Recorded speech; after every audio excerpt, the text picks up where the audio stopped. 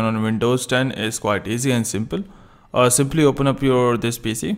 So for example, here we go. And here you need to first make the folder that you want to have all your downloads.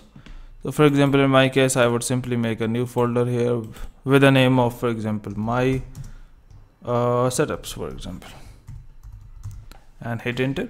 So this is the folder where I want to have all my downloads from browsers. So to change this default download location, I need to go back to my PC. So here this is this PC. Here you need to go to download. So here we have downloads, right click it and here go to properties at the bottom.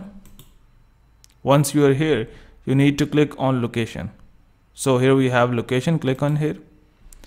And here you need to click on move.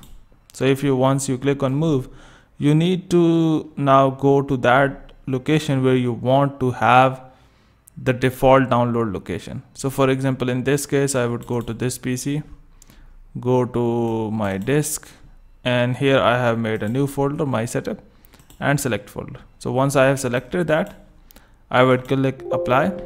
It says, do you want to move all the files from the old location to the new location?